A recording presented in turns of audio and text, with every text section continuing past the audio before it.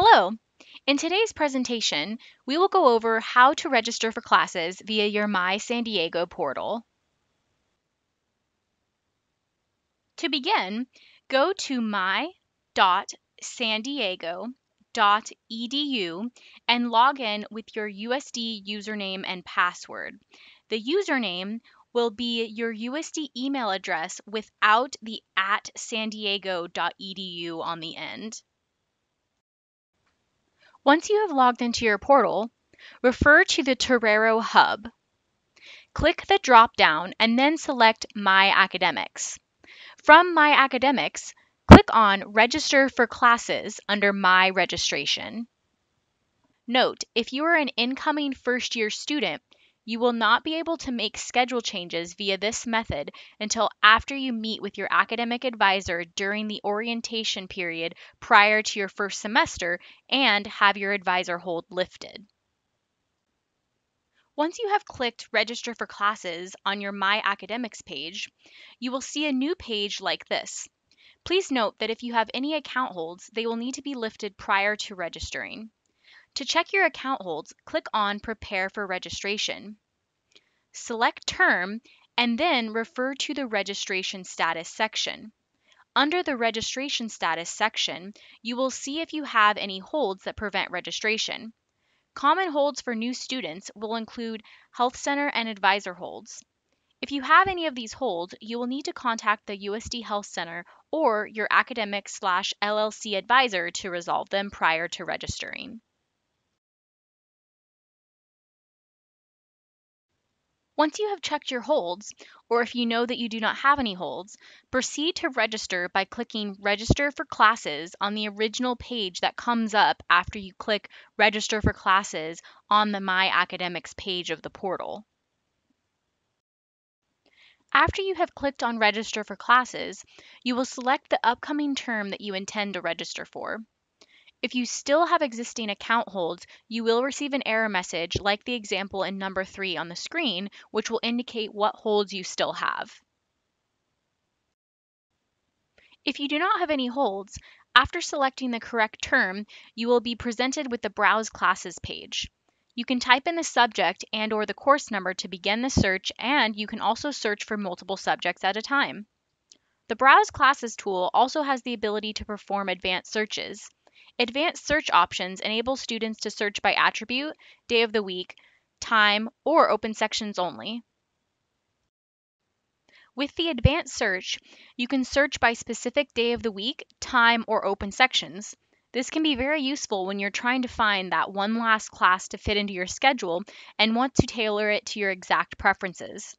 Click Search when you have added in all of your preferences, and you'll be brought to the course search page with a list of classes within that criteria that you selected. After searching for a class, you will see all the classes come up that are relevant to your search inputs. On the search results page, you can click on the title of the course to view the details and the course restrictions.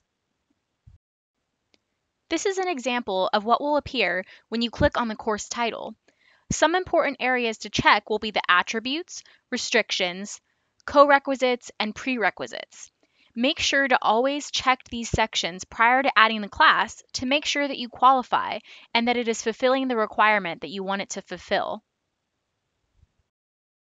To add a course, click Add in the search results next to the class.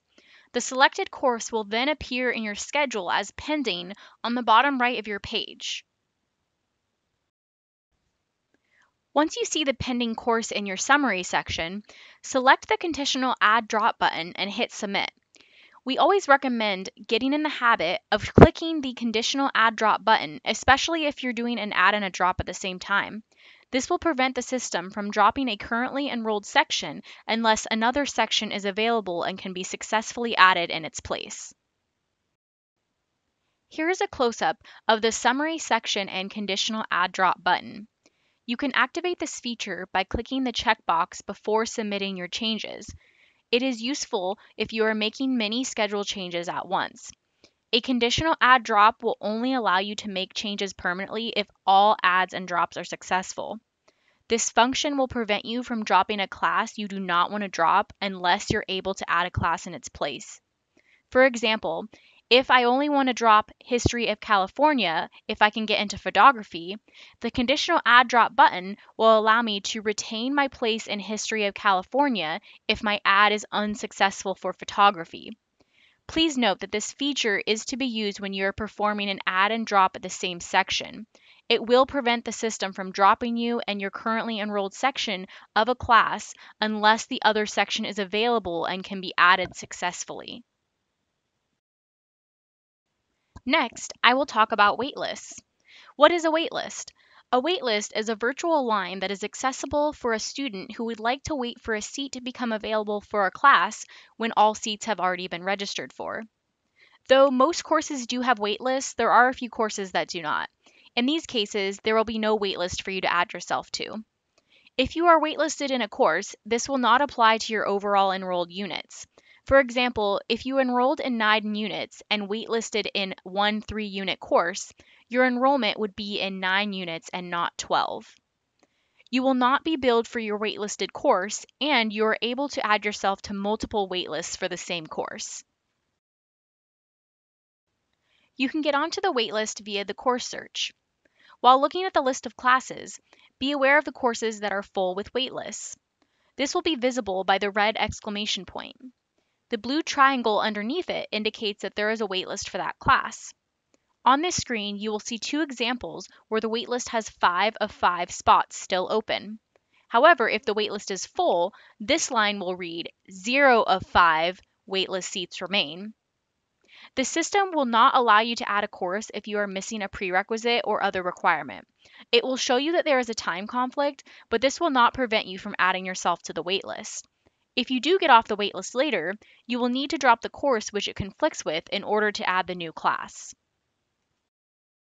In some cases on the Browse Classes page, you will encounter courses that are technically full, but it shows that there are seats available. In this example, it says 2 of 19 seats remain, but you will see that 1 of 5 waitlist seats remain, which means that 4 people are on the waitlist and 2 have been notified to add the course. Please be mindful of this as you are looking for classes to add, as in this case, the class is not open and you would have to add yourself to the waitlist. If you get a spot off the waitlist, you will get an email notification to add the course within 24 hours, so make sure that you're checking your USD email frequently. If you are first on a waitlist and the spot opens up, you will immediately receive an email notification to your USD email address. This email will give you 24 hours from the time received to add the course. Please remember to check your email regularly while you are on a waitlist. There are no exceptions to the 24 hour rule. If you do not add the class within the 24 hours, you will be dropped from the waitlist and will need to re add yourself to the waitlist. It is important to check your email regularly so that if there is a problem with adding the class, you have enough time to contact us with questions before the 24 hour waitlist notification expires. Thank you so much for watching. For more valuable information about financial aid, billing, and registration, you can visit our website at www.sandiego.edu slash one dash stop. Have a great rest of your day.